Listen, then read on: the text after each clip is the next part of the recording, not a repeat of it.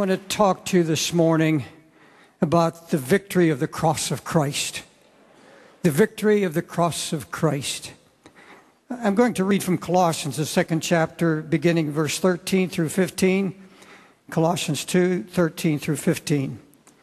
And you, being dead in your sins and the uh, uncircumcision of your flesh, hath he quickened together with him, having forgiven you all trespasses He's blotted out the handwriting of ordinance that was against you, which is contrary to us, and he took it out of the way, and he nailed it to his cross. Having spoiled principalities and powers, he made a show of them openly, triumphing over them in it. Jesus, we want to talk about the victory of the cross. Not, not in any human way, but through the supernatural understanding of the Holy Spirit.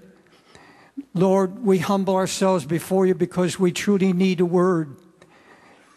We thank you, Lord, that your Spirit comes to open the truth. We humble ourselves before you, Lord, and open our eyes, open our ears to hear what the Spirit has to say.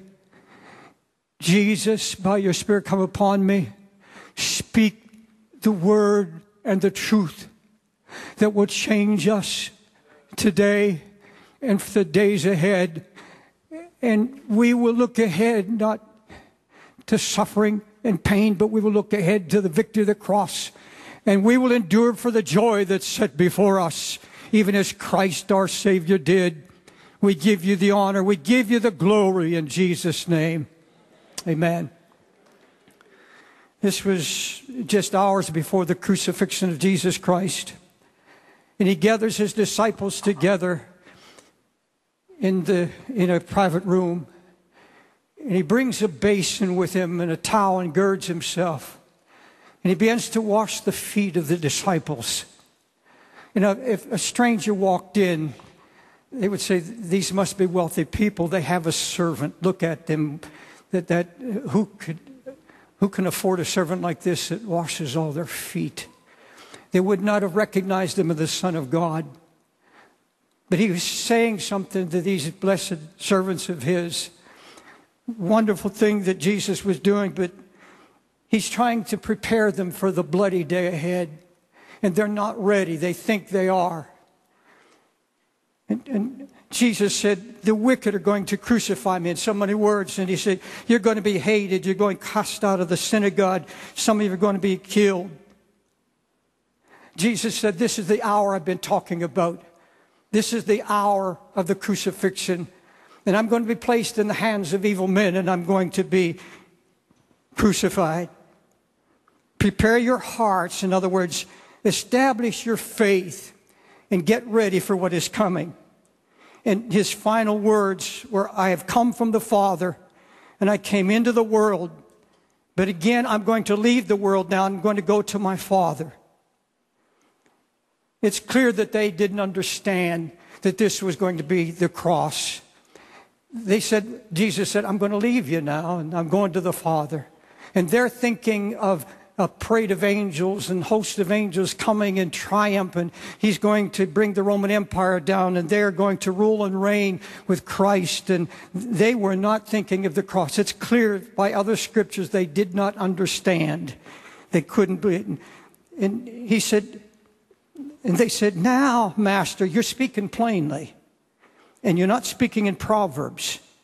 By this we believe you, you came forth from God. We, we believe now. We, we, we think we've got this faith thing figured out. This element of faith, this thing called faith. Now we believe because you said now you're going to glory. Now's the hour. And, and so Jesus turns to them and says, Do you now believe? Is, uh, you, you've got the faith. Are you ready to drink the cup that I'm going to drink from? What are you going to do when you see me hanging helpless? What are you going to do when it looks like I can't even save myself? Pastor William preached a message, I didn't hear all of it, uh, about will our faith endure? A powerful message, I understand. It may have gone over some of this, but Jesus said, Behold, the hour is coming. Yes, and now has come that you shall all be scattered, every man to his own, and you're going to leave me alone. But I'm not alone because the Father is with me. He said, Do you truly believe? Now, what, what do you think you would do if you were there at the crucifixion? Every man has gone to his own, the scripture says. They all forsook him and fled. But what would you have, what would have gone through your mind? What would, what would shake your faith, or would it shake your faith? And I, am saying you would act just as the disciples did. I would act the same way. Father, why have you forsaken me? What would you have said if the man you believed in to be the Messiah and answered prayer and the great miracle worker and about heaven and the glory of paradise and mansions prepared? What would you do if that same man who, who testified to be God in the flesh and he's crying out himself, God, why have you forsaken me? And, surely this is what went through the disciples. If this is God, if, if this is God, and this is the servant of God, how, how can he allow this? How can he allow the Son of the living God to say, Why have you forsaken me? The Bible says they all forsook him and fled.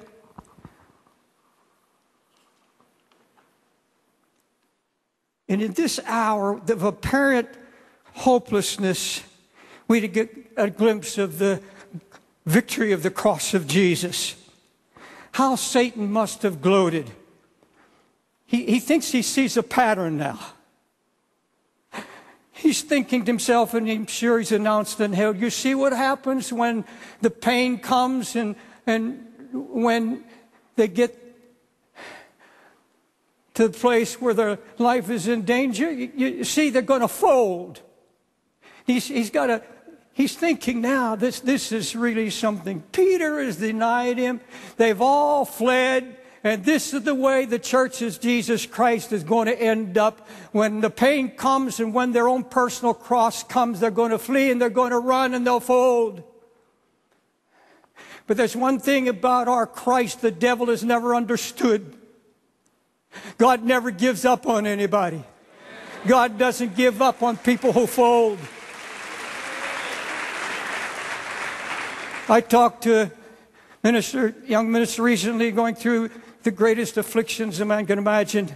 And he said, through it all, through it all, I feel when I can't pray and when I feel that I don't understand the pain and the suffering, he said, I feel like there's an umbilical cord and I'm being fed. I'm being fed even in my time of testing and trial. There's something feeding me from heaven. The Holy Ghost is coming into my life. And folks, that's what's happening today in these last days. There's a loving cord from heaven. And once you stand for Christ, once you give him your heart and your life, he will not forsake you. He's going to stay true to you. Your house may be shaken. You may fail him. Your, your faith may come to the place where you think it is absolutely gone. There's no faith left. And then the lies of hell saying, you see, you thought you had it, you testified about it. And, and folks, I'm telling you, if we don't call on the Holy Ghost every day, if we don't get into this word and find our own word, thank God for this pulpit. I thank God I can minister to you. I thank God for the Holy Spirit speaking through me right now.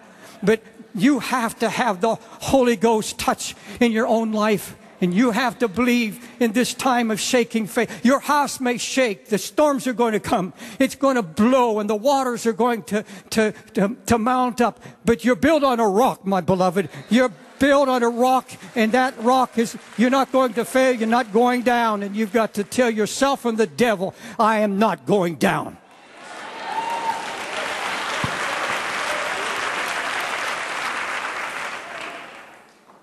This didn't look like a victory.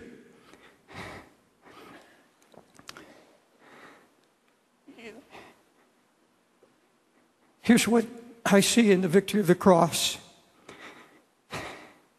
is the forgiveness of all past sins. And I'm telling you, this may sound elementary. This may sound like a, a, a, a Bible class introduction to the cross. But I'm telling you, this is the foundational truth to keep us in these last days. You have to know and be convinced you're right with God.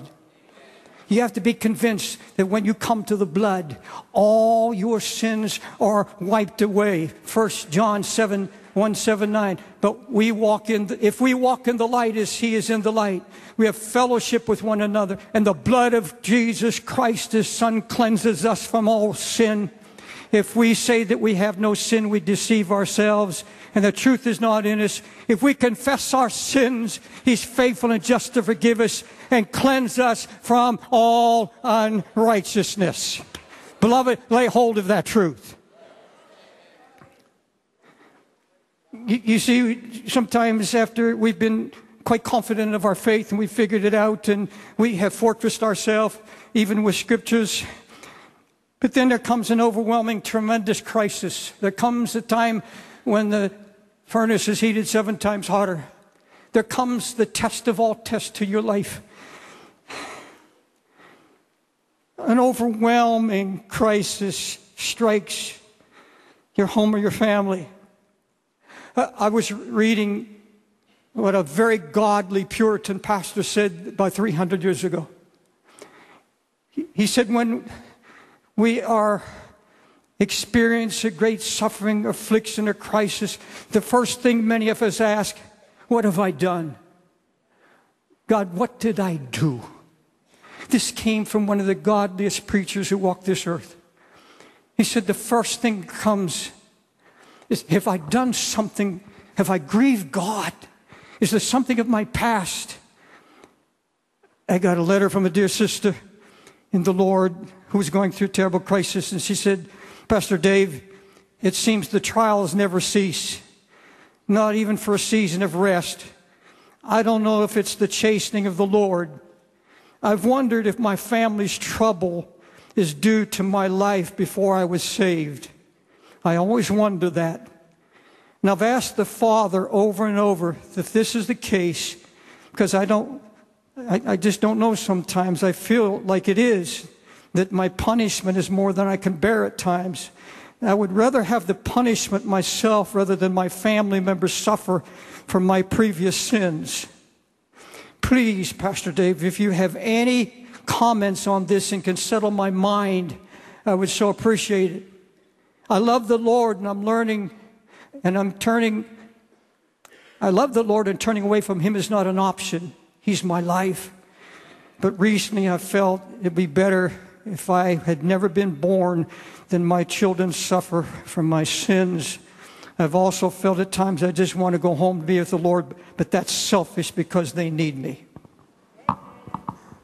I say to that sister and to all who are sitting within the sound of my voice, you're being tested, maybe in your children. You've got to understand your children have to go their own path. You can't be God to them. You can pray, you can fast, and you can believe, but they're going to be tested just like you.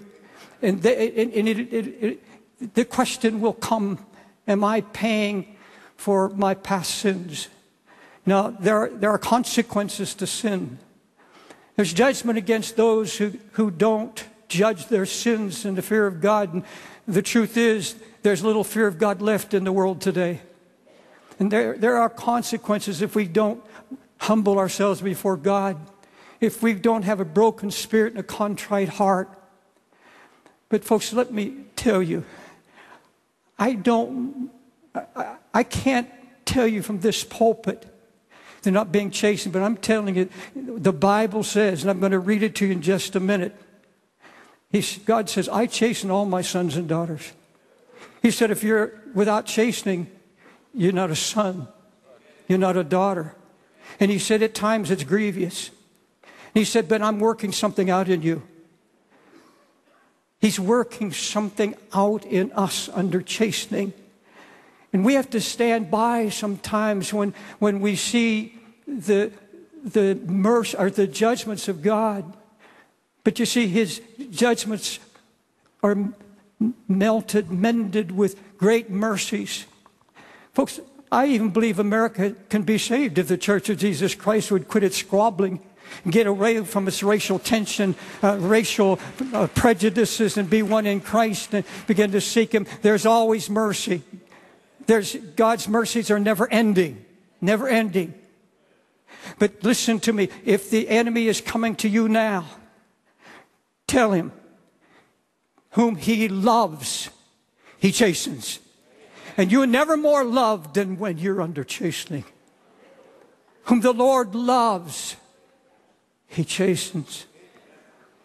You can stand still and say, No, I will not take these lies. And you begin to stand on these words. We are justified freely. We're redeemed by grace through faith in his blood. We declared his righteousness for the remissions of sins that are past through his forbearance, meaning for his patience. All guilt, all condemnation are lifted when you come to the blood of Jesus Christ and you believe what he promised. There's now therefore no condemnation to them that be in Christ Jesus and are called according to his purpose. Say amen to that. Amen. And you could say too, I believe it. Jesus, God made provision for us to be reconciled. You say, I've sinned since I've been saved. I sinned against light. So did Peter. So did the disciples in their unbelief, for which they were um, upbraided later by Christ Himself, even though they had repented. For God commended His love toward us, that while we were yet sinners, Christ died for us. Much more than being justified by His blood, we shall be saved from wrath through Him. For if when we were enemies, we were reconciled to God by the death of his son, much more being now reconciled, we shall be saved by his life.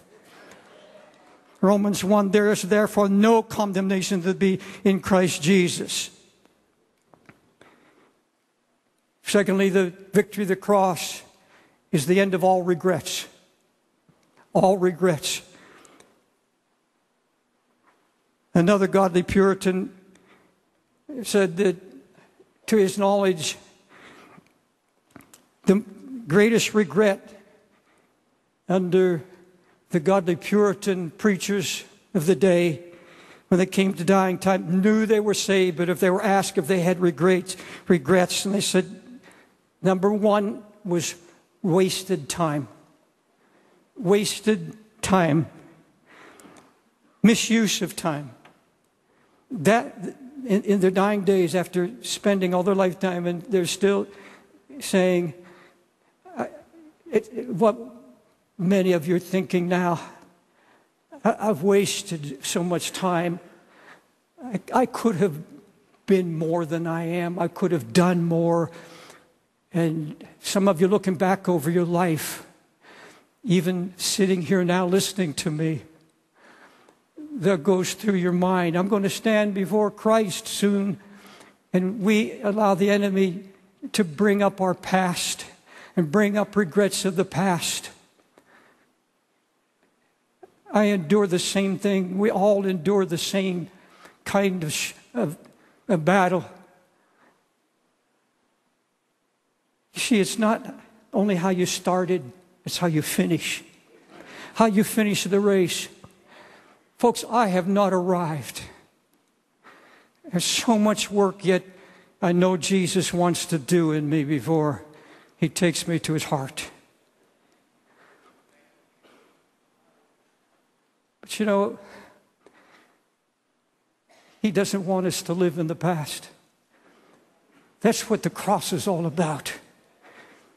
He, he nailed all of those issues at the cross so that you can sit in his presence now and say, That's in the past. Some of you thinking about the drug addiction of the past. You're, thinking about the alcoholism. You're, you're, thinking about lust. You're thinking about all those things where there's been failure in the life, and even many of you after you got saved. But you've come to the blood of Jesus and you've confessed your sins and you've asked the power of the Holy Ghost to, to give you victory over that. I want you to know that the blood has cleansed you. I want you to know that you have victory. I want you to know there's no wrath of God upon you. And I thank God. And I say this humbly before a holy God. I thank God that I'm not what I was. I thank God He's changing me. I thank God that all the stupid, foolish things I've done are under the blood of Jesus Christ.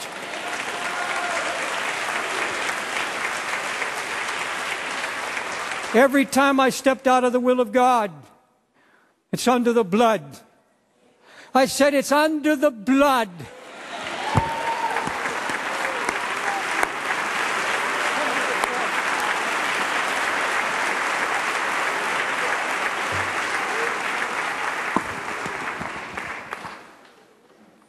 At the cross, mercy and peace took on a face. I said, mercy and peace took on a face, a human face. The man Christ Jesus, who came to bring peace to his people. He made a covenant that his blood would bring everlasting peace. And he said that, that you could see my glory. Folks, he wasn't talking to just about being in heaven. He said, I want you to see my glory. He's talking about the present time also. You can have some glory to go to glory in. And that is the peace of God that comes from knowing my past, my regrets, all that I've done because I've come to Him and I believed in the power of His blood and I believe in the power of His word. And whatever comes, I know there's no wrath of God on me. There may be wrath on wickedness and sin, but there's no wrath on the church of Jesus Christ. Now may the God of hope fill you with all joy and peace in believing that you may abound in hope by the power of the Holy Ghost.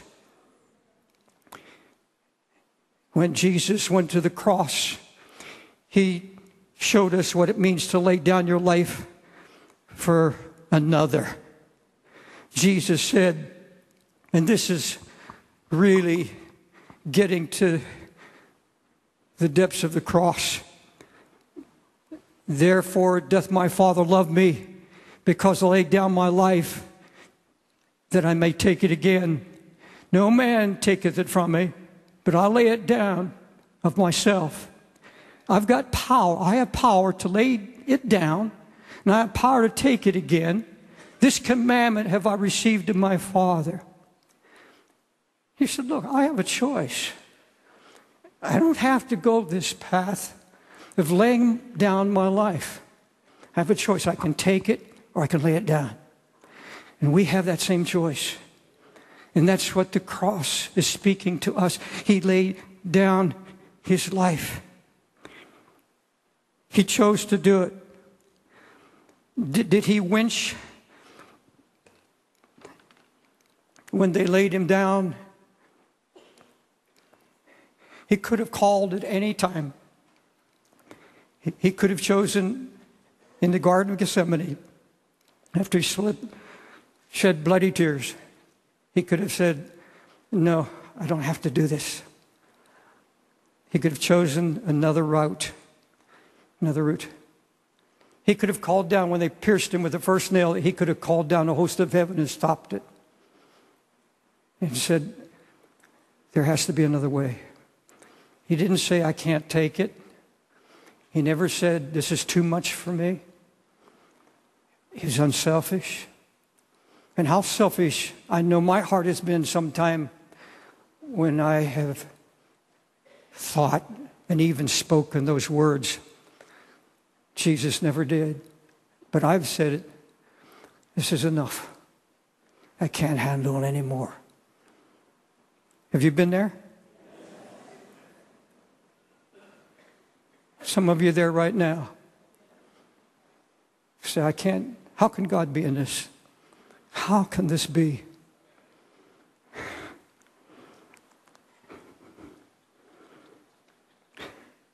I, I know people, and I'm surrounded by people that lay down their lives for others. And there are people in this church that will lay down their lives for people in need. And I don't know how they do it.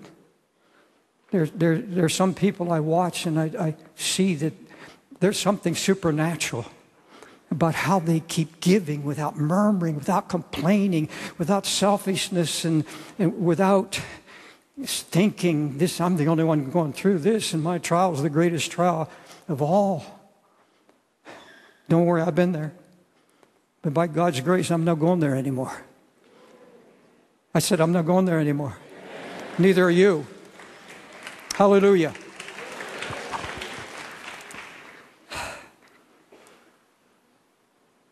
For this reason, because I laid down my life by choice, for this reason my Father loves me, because I laid down my, leaf, my life for the sheep. And there's never been a needier hour in all of history when we need those who will lay down their life, will not consider their own difficulties first, but will have their eye and their heart and attention set on finding the needs of others.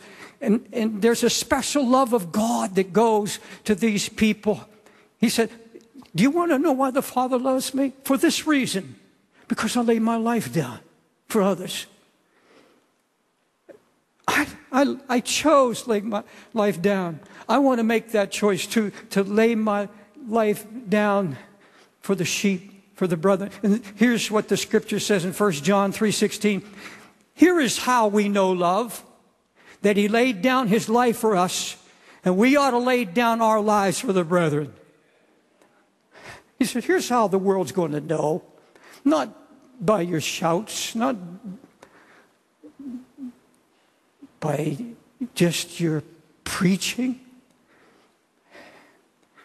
because you have such a love for one another and you're laying down your lives, and the world can't comprehend that. But it, if there, anything breaks through gross darkness, it's the love and the body of Christ. And you need the love, and I need the love.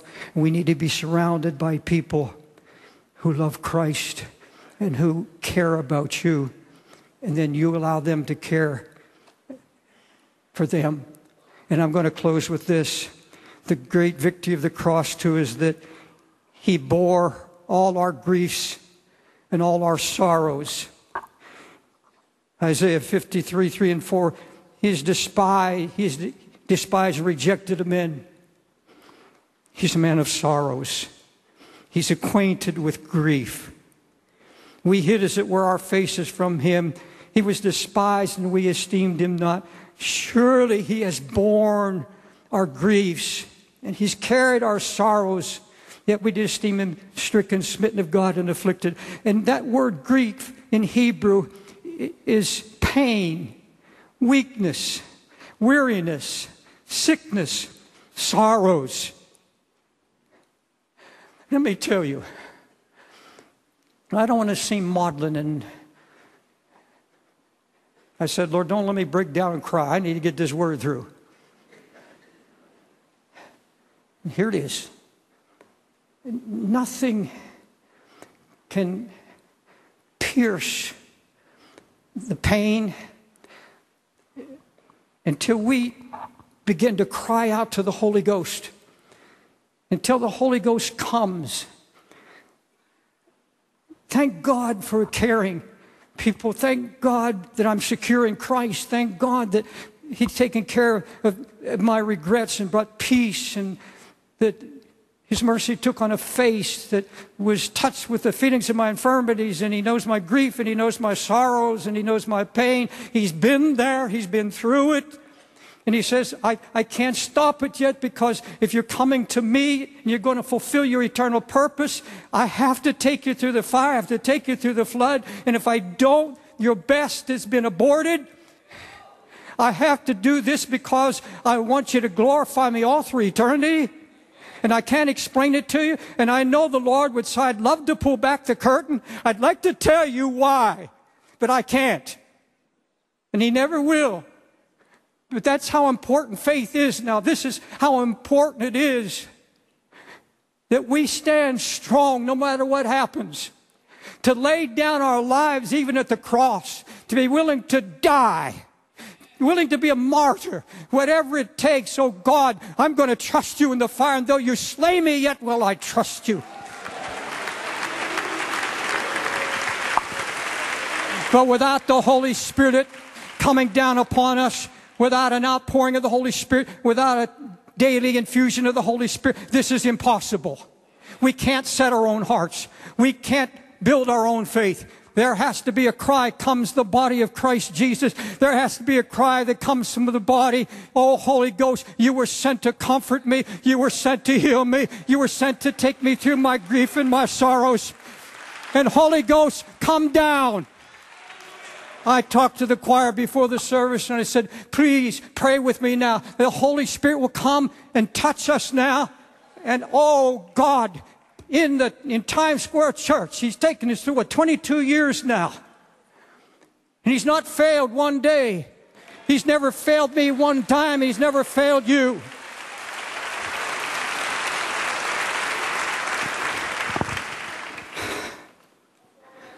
Glory to God.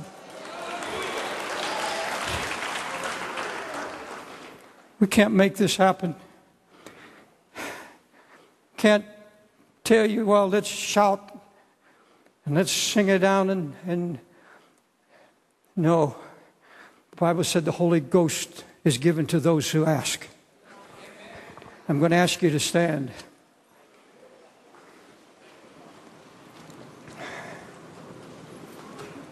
Have you heard from God? I said, Did you hear from God? I'm not talking about my message.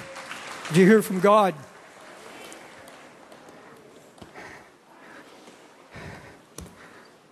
There's so many here that need mercy. So many here in this house right now need a fresh baptism of the Holy Ghost. And when I'm talking about baptism, I'm not talking about shaking and shouting. Not talking about getting in the aisles and running the aisles. That can be flesh. But I'm talking about a people so in one. And if you're visiting the first time and you felt maybe the first time in a long time Not that you're being judged. He said, I didn't come to judge you, I came to save you. Judgment is coming, but this is time of mercy. And if you've been running from God, if you've been backslidden in heart, or if you have never really surrendered your heart to the Lordship of Jesus, you've never asked for the cleansing of His blood, you've never really practiced or given faith to believe what God has promised, this is your time. And in this church, we believe it's a wonderful thing. You don't have to do it this way, but to just step out of your seat and come forward. In other words, make a declaration, a confession before all men. He said, If you confess me before men, I'll confess you before the Father and all the angels of heaven. But I invite you, if if, if you have grown cold and weary and you're carrying the burden yourself, the front of this church is open. We call it an altar, but it's just another place in the auditorium. And uh, God love you. Don't don't run anymore. Come home to the loving arms of Jesus. I'm going to wait. And I, would you just sing one? while the Holy Spirit is moving. The Holy Spirit's in this house. We'll, we'll wait for just a moment if you want to come and stand here and confess to Him, Lord, I've been running. I'm not running anymore. I'm coming to you. Let him move on your heart.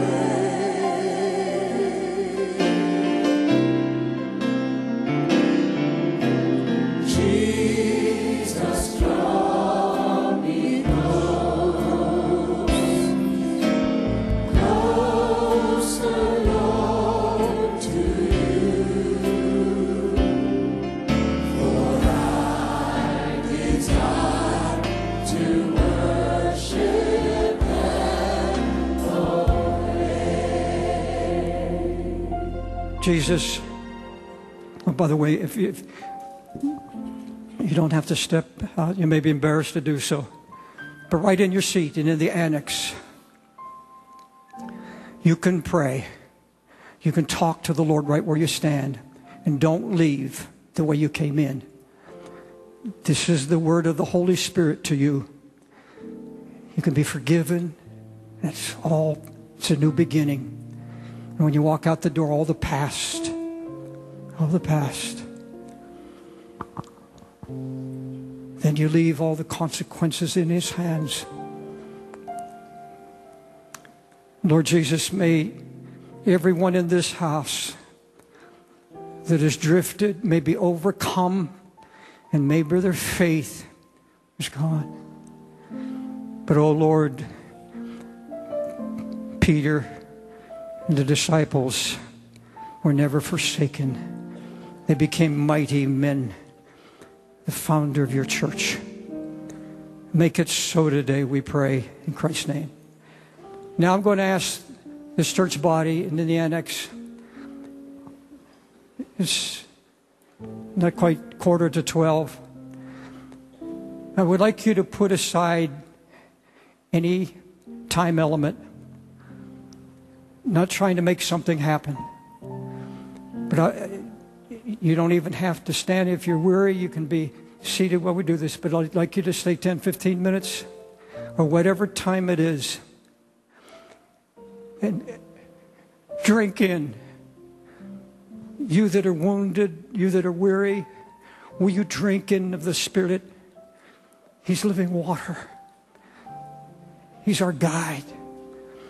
And say, Holy Spirit, I need you. And I want, if you will, if you know the Lord and you walk with Him, raise your hands and begin to worship the Savior. Begin to worship Jesus and call on the Holy Ghost. He said, If you call, I'll answer. Now we've got to call on the Holy Spirit. Holy Spirit, we're going to call on you now. I want you to raise your voice to the Lord. I'm not looking for a sound, I'm not looking for noise, but I want you to pray right now. Lift your hand and say, Holy Ghost, come upon me right now. Refresh me, touch me, and while you're at it, pray for mercy upon America. Pray for the mercy of God on New York City. But this is a time, Lord, time, folks, to just call upon the Holy Spirit to endue us with fresh anointing and fresh power. Reach out. Thank you, Jesus. Holy Spirit, will you come anew and afresh as you do every Sunday in this church? But now, Holy Spirit, closer and closer to the coming of Christ. Draw us by your Spirit. Draw us to your word. Draw us to faith. Thank you for the victory of the cross. Let's just worship him.